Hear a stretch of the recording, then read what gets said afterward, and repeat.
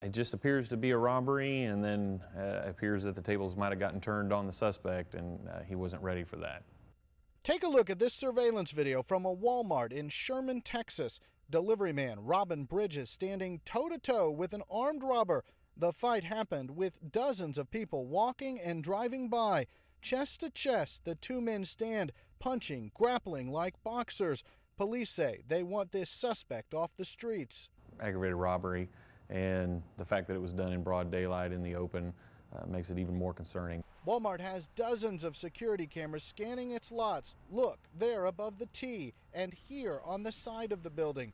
These cameras captured the robbery attempt turned boxing match, a match that finally ended when a woman got out of the suspect's car. She watches for a few moments, then jumps back in. Bridges then ran to the safety of his car as the suspect pulls away. Police say they released this video hoping someone recognizes the suspect, his car, or the woman riding with him. That information could lead to an arrest. Rich Matthews, The Associated Press, Sherman, Texas.